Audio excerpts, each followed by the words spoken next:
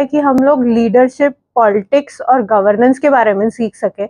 एक आदर्श देश कैसे चलाया जा सके, वो सीख सके।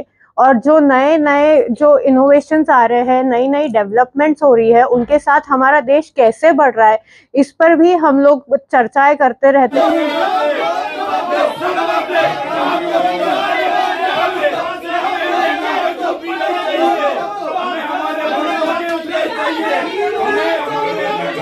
नमस्कार, आप देख रहे हैं मातृ गौरव और मैं हूँ व्यास कुमार। मैं इस वक्त राम भाव महालगी प्रबोधिनी जो कि केशव सृष्टि में है, यहाँ पर भारतीय लोकतांत्रिक नेतृत्व संस्थान का एक कोर्स चलता है, जिसमें देश भर के चुनिंदा विद्यार्थियों को यहाँ पर एडमिशन दिया जाता है। और जो ऐसे विद्यार्थी जो राजनीतिक क्षेत्र में जाना चाहते हैं, उनके लिए इससे अच्छा कोई विकल्प हो नहीं सकता।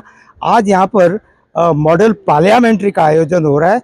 हम मॉडल पार्लियामेंट्री के माध्यम से आज ये देखने का प्रयास करेंगे कि संसद में किस प्रकार से कार्रवाई चल रही, चलती है। आज के जो मॉडल पार्लियामेंट्री है, उसमें गोवा विधानसभा के डेप्यूटी स्पीकर जॉन डिसूजा यहाँ पर आए हैं। तो आइए आप अपन आज देखते हैं यहाँ के संसद की कार्रवाई। संसद सभी जनप्रतिनिधियों से मिलकर बनती है। सरकार को नियंत्रित और निर्देशित करती है। लोग अपने चुने हुए जनप्रतिनिधियों के माध्यम से सरकार बनाते हैं और उसे नियंत्रित भी करते हैं।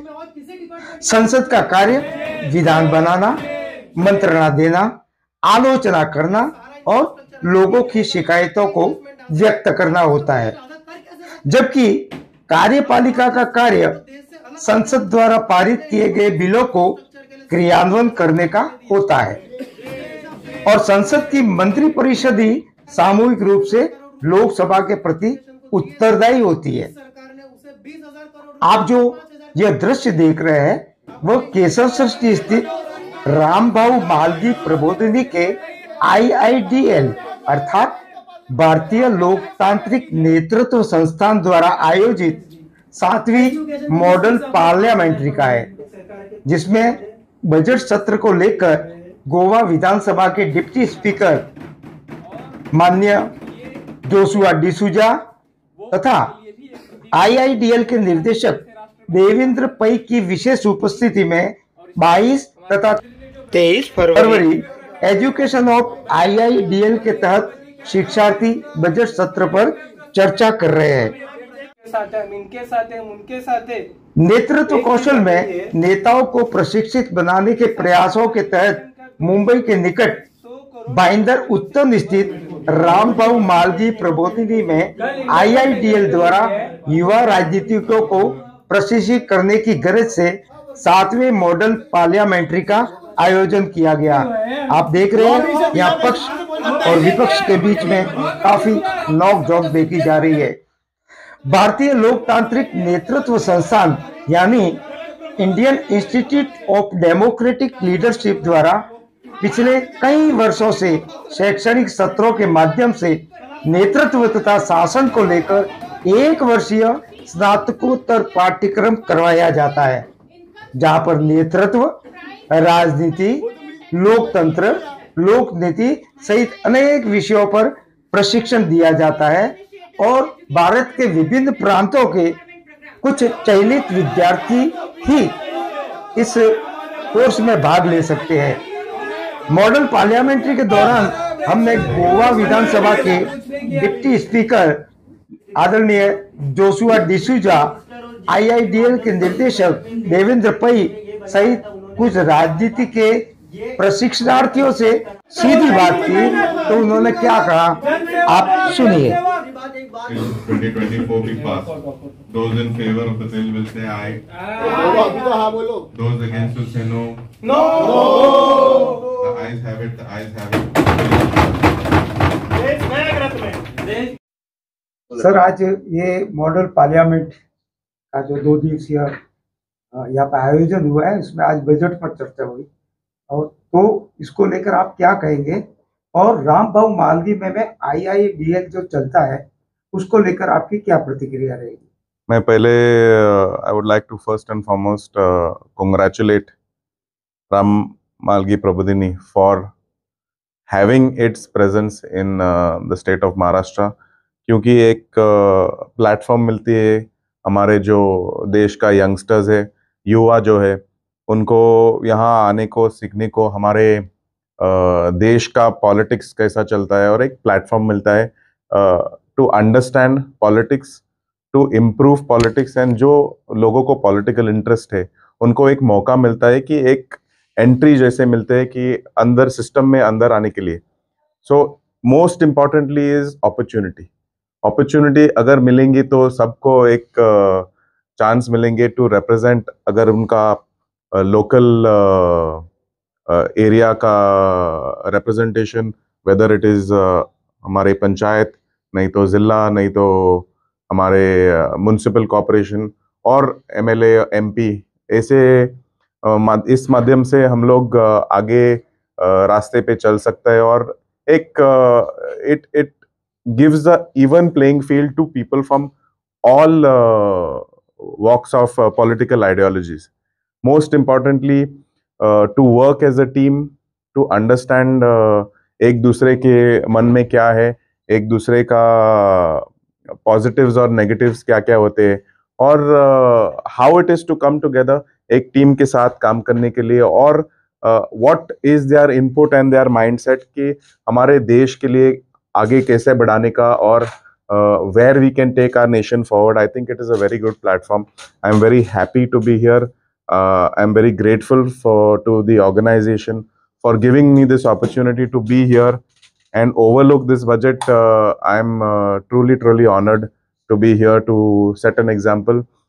हम लोग गो गोवा से आए हुए हैं यहाँ और यंगस्टर्स के साथ इंटरेक्ट करने के लिए एक अच्छे मौका मिले हैं मेरे को और I would like to inspire them as a politician to ensure that politics is not only uh, about uh, governance but to do good for your society and for your fellow uh, fellow Indians uh, across your region, your state and your country.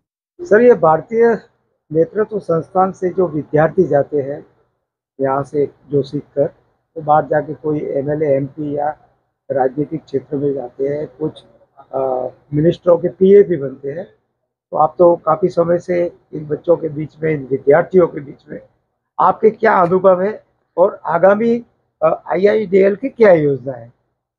वैसे ये आई की post graduation programme की सातवीं batch है। हम model parliament ये पाठ्यक्रम का हिस्सा करके हम ऑर्गेनाइज करते हैं।